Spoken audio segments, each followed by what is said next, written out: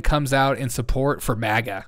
Unreal. Look, I would rather Donald Trump not to be the president of the United States again, but it's a devil you know in many ways. And I think that a Nikki Haley may be much more dangerous than a Donald Trump because at least you know where Donald Trump stands on issues, and we have lived through a Donald Trump presidency.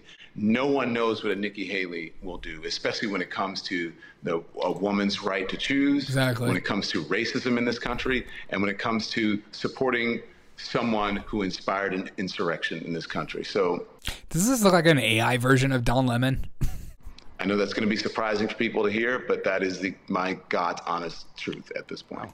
Don Lemon per once Donald Trump over Nikki Haley.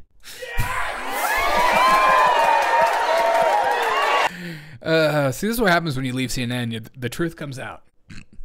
Because the Don Lemon on CNN, the Don Lemon Donald on Trump C- stands on issues, and we have would lived through a not Donald ever presidency. say that. This is like Chris Cuomo. God.